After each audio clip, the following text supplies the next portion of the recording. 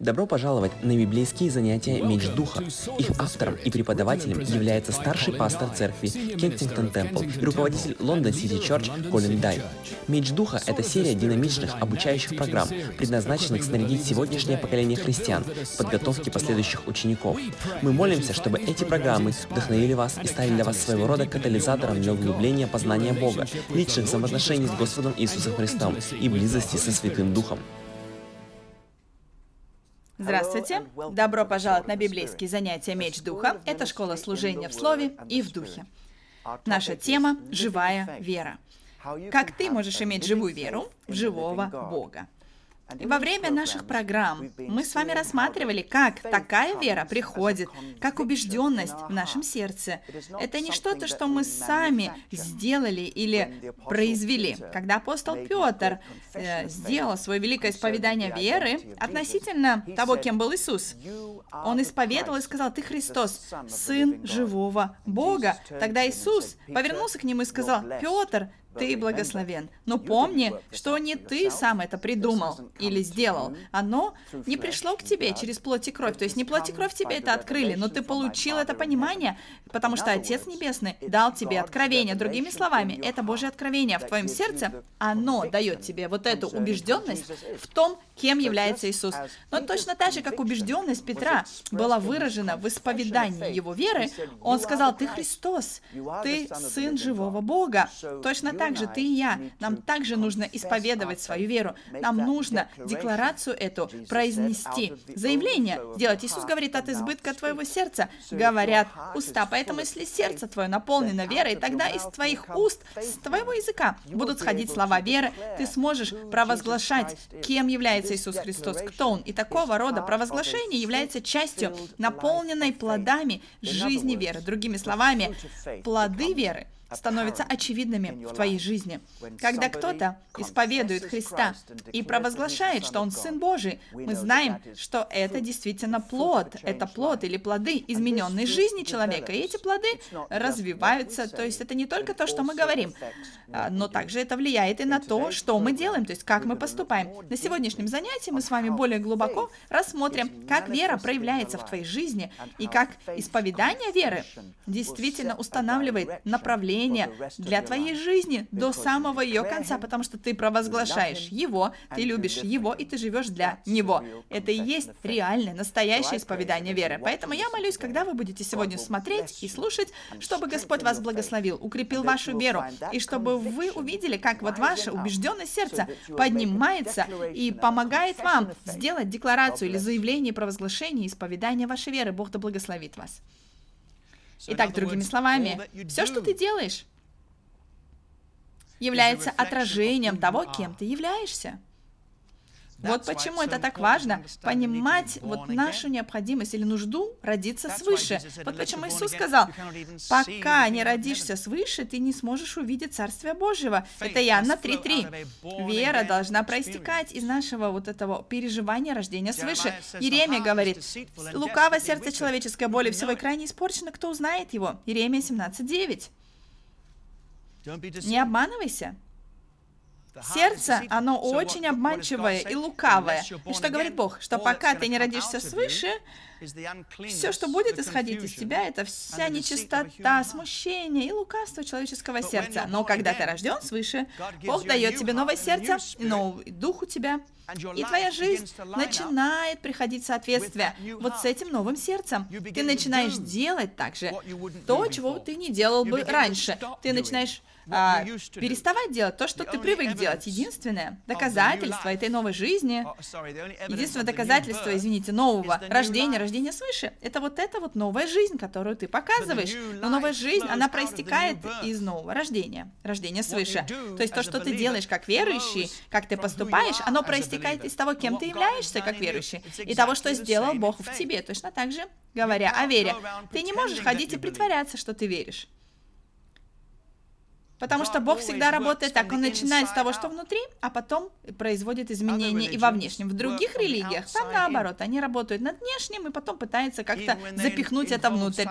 Даже когда э, происходит психологическая трансформация или преображение, это лишь внешняя часть твоей личности, а Бог работает изнутри, и оно проявляется наружу. Это не значит, что мы отвергаем э, вот, послушные поступки. Конечно, нет, но послушание должно быть послушанием веры. Это должны быть слова и действия веры. Библия использует такой пример дерева и плода. Доброе дерево, сказал Иисус, не может приносить а, плохой, да, если, извините, э, если я неправильно сказал. Хорошее дерево не может приносить плохой плод, а плохое дерево не может приносить хороший плод. Итак, если дерево плохое, плоды тоже будут плохими. А если дерево хорошее становится, то и плоды становятся хорошими. Яблоня, она не будет э, э, производить плоды вишни. Яблоня производит яблоки. По плодам этой яблони ты узнаешь, что это за дерево. Если ты сорвал вишню с дерева, это значит, это вишневое дерево. Вот что это значит, быть рожденным свыше. Это значит, что ты получил, принял новую жизнь от Иисуса. Вот что это означает ходить в вере. Ты ходишь, ты живешь вот своей внешней жизнью на основании того, как ты живешь своей внутренней жизнью. А все, что меньше этого, является лицемерием. Итак, я вам пообещал, что мы вернемся еще к этому моменту, только потому что существует вот такая опасность пустого исповедания, когда люди просто бездумно а, произносят механически Писание, стихи, а, и а, думают, что это настоящее исповедание. Я вам показал, что этого нужно нам избегать. Это совсем не значит, что нет ценности в, а, э, в, в том, чтобы нам выучить наизусть стихи из Писания. Важно нам учить наизусть, заучивать и повторять местописание. Когда мы изучаем, мы учим наизусть отрывки из Писания, и Дух Святой, а, или точнее Духу Святому, это даст возможность говорить нам таким образом. Поэтому не думай, что это плохо. Открывай Библию, читай отрывок, стих, и останавливайся и говори, я хочу принять это, Господь. И тогда говори, исповедуй это вслух. То есть прочитай это вслух, преврати это в молитву, преврати это в провозглашение или в декларацию. И когда ты будешь это делать, Божье Слово, оно будет опускаться глубоко в твой дух, и Дух Святой будет говорить тебе, и это Слово начнет укореняться в твоей жизни. Но запомни, я сейчас говорю о библейском исповедании, которое происходит тогда, когда сердце попадает в твое сердце, и вдруг ты видишь, что ты по-другому произносишь это слово. Может быть, ты его 50 раз произносил до этого одним способом, но 51 раз вдруг ты по-другому его говоришь. Теперь ты уже не просто механически произносишь Писание, теперь оно стало исповеданием, потому что оно течет из твоего сердца, сердце, которое приняло это слово. Я даже не предполагаю, что 50 раз потребуется, чтобы оно попало попало вот так вот в сердце. Я просто, когда учу, в качестве примера, вот иллюстрации вам иногда такие даю. Итак, сейчас мы с вами хотим поговорить о том, как вера действует через исповедание. Когда мы произносим свое исповедание, в соответствии с этой живой верой в наших сердцах, вот это побуждает наши обстоятельства прийти в соответствие с Божьей волей и с Его целями. Давайте посмотрим а, на Евангелие от Матфея, 17 главу. Здесь мы с вами целый ряд мест Писаний поизучаем, чтобы увидеть это. Итак, Матфея 17 глава с 19 по 20 стихи. Тогда ученики, приступив к Иисусу наедине, сказали, «А почему мы не могли изгнать его?» Иисус же сказал им, «По неверию вашему, ибо истинно говорю вам, если вы будете иметь веру с горчичное зерно и скажете горе сей, Научитесь языку веры на самом деле. Вера говорит. Если вы скажете, если вы будете иметь веру размером с горчичное зерно, то вы скажете горе сей. Перейди отсюда туда, и она перейдет. И ничего не будет невозможного для вас. Разве это не показывает вам, что вот так работает вера? Вера действует через твои уста. Вера работает через исповедание. Поэтому, если ты имеешь веру, Иисус сказал, ты будешь говорить, ты скажешь этой горе, перейди отсюда туда. Мы знаем, что такое горы. Горы — это препятствие. Горы — это те вещи, которые стоят на пути воли Божьей. Они стоят между тобой и Божьей волей. Все, что стоит между тобой и Божьей волей, является препятствием и горой, которую ты можешь сдвинуть верой. Марка 11, 22, 23 стихи. Иисус, отвечая, говорит им, «Имейте веру Божью». И здесь также переводят также э, в других переводах «имейте веру Бога». Что здесь происходит? Иисус сказал что-то смоковнице, она засохла, и Петр спросил его, «Господи, смоковница, которую ты проклял, она засохла». Ну вот так. И говорится, что Иисус, отвечая, говорит им, вот с 22 стиха, Иисус понял, что вот такой вопрос ему сейчас задают. Это не было заявление, это был вопрос. Это было что-то, что удивило. Петр сказал, Петр, посмотри, ты проклял ее, и она засохла. На самом деле он говорил этим, Господи, как это у тебя получилось, как ты это сделал? Иисус не повернулся и не сказал, ну, ты должен понимать, не нужно говорить о том, как я это сделал, потому что не тебе это знать.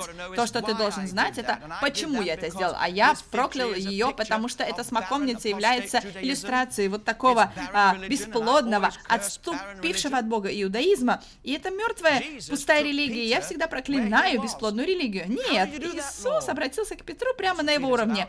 О, как это у тебя получилось, Господи? И спросил Петр, а Иисус сказал, я покажу тебе, как я это сделал, и как ты должен делать такие же вещи, потому что я призываю тебя проявлять Божье Царство, я призываю тебя провозглашать Божье Царство и творить дела этого Царства. Итак, Петр и все вы, он говорит, послушайте меня, имейте веру в Бога или имейте веру в Божью, имейте Божий вид веры. А почему это так важно? Классический пример Божьей веры, это когда Бог сказал, да будет свет, и появился свет, Бог сотворил своим словом весь мир. Твои слова несут в себе креативную, созидательную силу. Если они являются Божьими словами, тебе твоя вера имеет креативную силу, если это Божья вера, которая работает в тебе. «Имей веру Божью, ибо истина, 23 стих, говорю вам». Если кто скажет Горесия, вы видите снова, кто скажет Горесей? На самом деле нужно говорить, говорить горе. Нужно сказать этой горе, поднимись и вернись в море, и не усомниться в сердце своем. Почему мы говорим здесь об отсутствии сомнений? Потому что мы же движемся в Божьей вере, а Бог не усомневается в своем слове. Бог имеет абсолютную веру в свое слово. И вот такая вера у него, и он может дать ее тебе. Такую веру Бог хочет, чтобы ты имел и в ней двигался. Это повеление. Имейте веру Божью. Поэтому, когда ты стоишь в какой-то ситуации, там, где существует противостояние, оппозиция, невозможная ситуация, что-то, что против воли Божьей, говори тогда. Вот, высказывайся. Вот как? Ты говори, если твои глаза будут открываться. Так оно работает, потому что ты говоришь Божье Слово в своей жизни. Или вот в эту ситуацию. Поднимись и вернись в море. Кто скажет Горисе, поднимись и вернись в море, и не усомнится в сердце своем, но поверит, что сбудется по словам его. Буквально верит, что те вещи, которые он говорит, сбудутся. То есть, если ты веришь в те вещи, которые ты говоришь из веры, исходя из веры, в ответ на Божье Слово тебе, и в ответ на откровение, которое ты получил, то есть это уже не ты говоришь то, что ты хочешь, чтобы оно произошло. Давайте вернемся, помните этот процесс, услышать, принять, исповедовать, провозгласить Божье Слово. Он говорит здесь так, тот получит, или будет ему, что не скажет. Вот исповедание веры. Посмотрите на Евангелие от Луки, 17 глава, с 5 по 6 стихи. Здесь мы видим, как Иисус говорит им что-то очень и очень такое жесткое о прощении. И они подумали, это просто невозможно. Как мы будем продолжать прощать вот столько раз? Мы думали, что семь раз простить кого-то, это уже фантастика. Но Иисус говорит, семьдесят раз по семь. И они сказали, о, Господи, умножь в нас веру. А Иисус говорит, да нет, вам не нужно иметь больше веры. Вам нужно использовать ту веру, которая есть у вас. Итак, Господь сказал, если бы вы имели веру с зерно горчичное, сказали бы этой смоковнице, исторгнись, пересадись в море, то она послушалась бы вас. Итак, Иисус научил своих учеников говорить с верой, чтобы двигать горы. Вера, которая двигает горы. Сказать слово, которое будет менять твои обстоятельства. Потому что, когда Божья вера действует в тебе, Божье Слово в твоих устах, оно имеет такую же силу, как Божье Слово, исходящее из Его уст. Как еще мы могли бы сказать, слепые глаза, открывайтесь? И чтобы эти глаза тебя послушались, если бы это не был Бог, который говорил так. И когда Бог говорит через тебя, Он говорит с такой же уверенностью, которую Он имеет в свои слова, потому что это и есть Его слова. Сдвинуть гору — это не проблема для всемогущего Элохима. Когда мы слышим Божьи слова, мы принимаем их как семя веры. И это начинает расти, развиваться в нашей жизни, это семя начинает расти, и тогда мы можем начинать говорить. Тогда мы увидим, как горы будут двигаться. Нам не нужно иметь много веры, нам просто нужно увидеть, что вера, которая есть у нас, Бог дал ее нам, нужно следить, чтобы она росла и начинала влиять на нашу жизнь. Поэтому, когда эта гора оппозиции стоит между тобой и Богом, и Божьей волей для твоей жизни, ты имеешь силу, ты имеешь власть верой сказать этой горе и убрать ее, сдвинуть ее. Аллилуйя. И ты также, ну, нужно понимать, что здесь какое время в, граммати в грамматическом понимании на греческом языке используется, здесь означает продолжать говорить длительное время. Один человек так сказал, я знаю, что происходит, когда я говорю своим горам. Они в ответ мне что-то говорят. Поэтому он в проповеди просто это все перечеркнул. Все эти, вот знаете, дела, связанные с исповеданием веры, он перечеркнул в одном предложении в своей проповеди. Но я знаю, что мои горы тоже говорят мне что-то в ответ, но я продолжаю им говорить. Ты знаешь, что гора говорит тебе в ответ? Ты когда-нибудь разговаривал с горой? Кто-нибудь из вас когда-то вставал и говорил что-то горе? Hello, привет! И эхо. Где ты? И эхо. Вы слышали такое, да? Это эхо. Я вот что скажу тебе. Я слежу, чтобы горы мне отвечали только то, что я говорю им, как эхо, во имя Иисуса, во имя Иисуса, во имя Иисуса. Выйди, выйди, выйди, отпусти мой народ. Отпусти, отпусти. Вот как твои горы говорят тебе. Все, что они могут сделать, это эхом а, крикнуть тебе обратно то, что ты сказал им. Поэтому перестань давать своим горам э, больше сил, чем у них есть, своими негативными мыслями. О, боже мой, Бог забыл обо мне, Бог забыл, Бог забыл обо мне. Эхо такое вот звучит.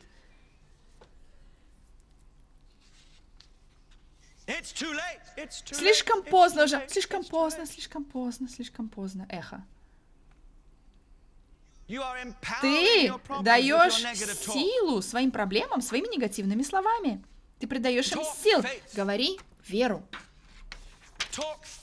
Говори разговором веры. Пусть Божье Слово просто так сильно наполнит твое сердце, чтобы то, что исходит из твоих уст, несмотря на обстоятельства, было бы в соответствии с Божьим Словом, продолжая его провозглашать. Верой, под помазанием Духа Святого. И тогда, рано или поздно, твои обстоятельства, они вынуждены будут подстроиться в соответствии с Божьим Словом. Аллилуйя. Аллилуйя.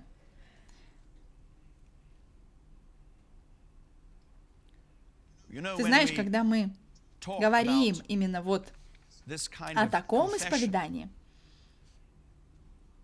нам нужно учить много о том, а, чему не стоит учить. Потому что многие, многие неправильно поняли вот это послание о вере. Э, вот знаете что, назови это и потребуй для себя, не называет это. Вот так вот словами, схвати что-то. Знаете, был один человек, который, ну, работал у нас в церкви, он больше у нас не работает, но раньше он работал. И он был э, таким комиком, он всегда шутил. И его попросили ответить э, на телефон, там вот в фойе. Это было в те дни, когда Уин Льюис был пастором Кенсингтон Темпл, и Уин Льюис так получилось, что он позвонил, а тот э, шутник по телефону, который отвечал, не знал, кто там с, другой, с другого конца, он сказал, алло, э, Кенсингтон Темпл, а, ты почувствуй, мы исцелим. Ты назови это, и мы провозгласим это. И тогда гора ответила ему в ответ. Это Льюис. Увидимся в моем офисе через пять минут. Подойдите, пожалуйста, ко мне.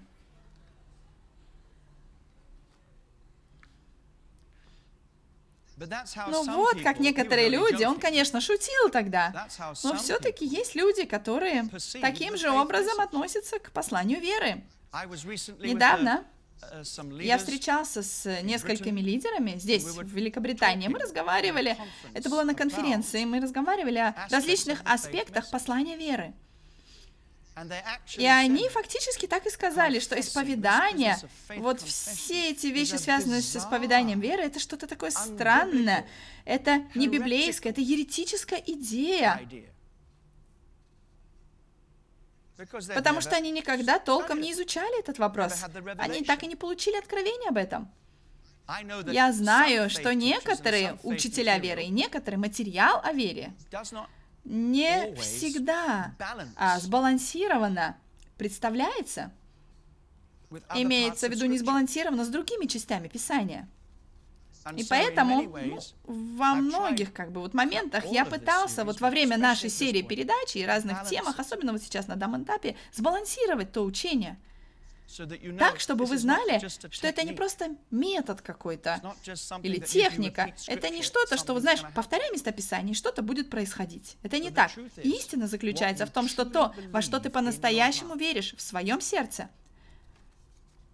оно обязательно будет звучать с твоих уст.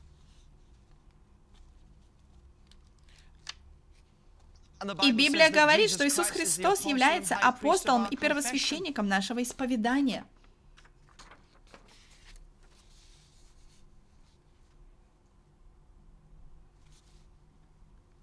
Устремляй свой взгляд на Иисуса, на великого апостола и первосвященника, твоего исповедания.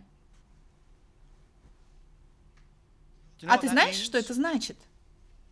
Это значит, что когда ты исповедуешь Иисуса Христа,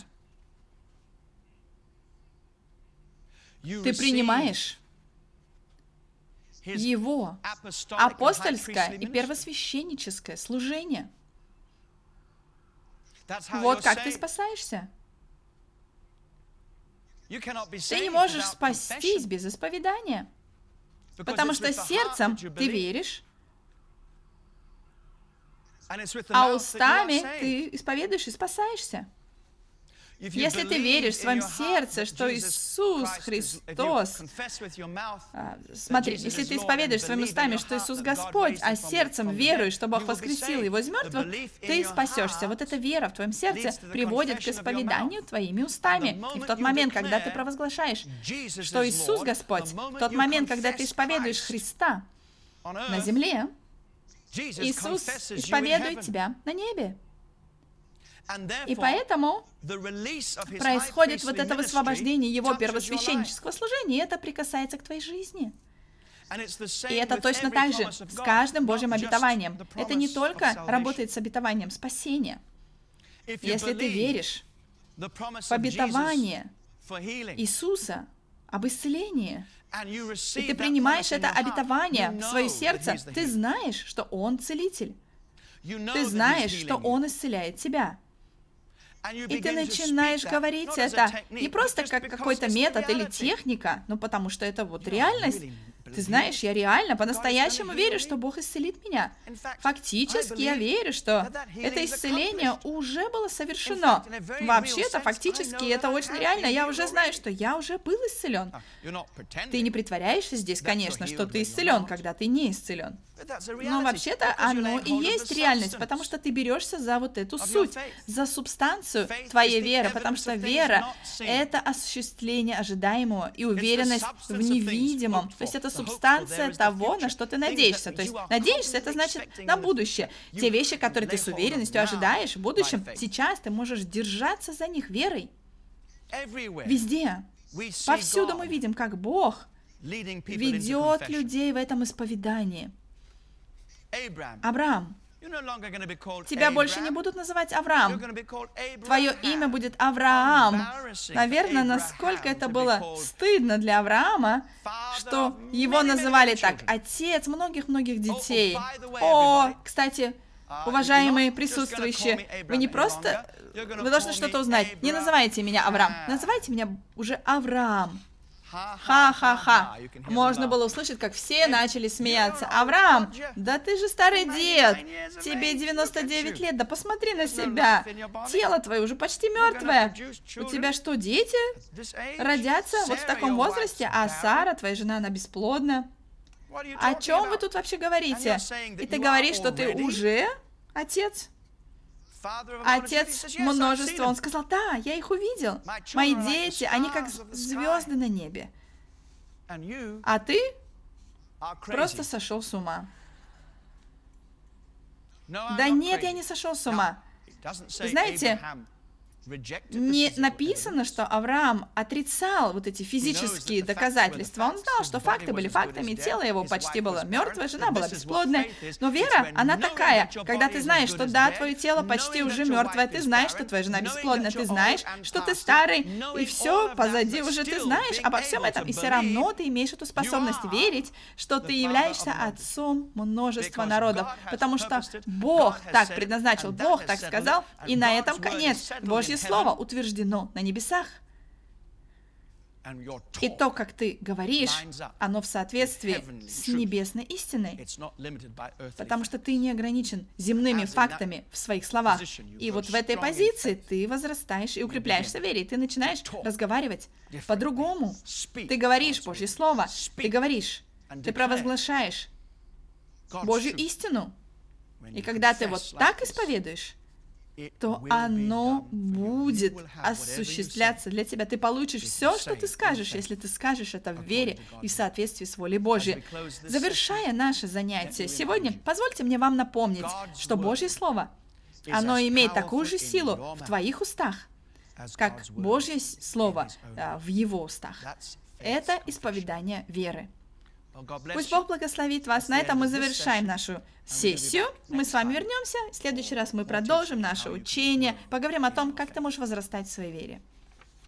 На этом мы завершаем наше сегодняшнее учение о живой вере. И я молюсь, чтобы Бог благословил вас сегодня, чтобы Слово Божье прикоснулось к вашей жизни и произвело больше и больше веры в живого Бога. В следующий раз мы с вами встретимся, мы продолжим наше учение на эту жизненно важную тему живой веры. Благословения вам!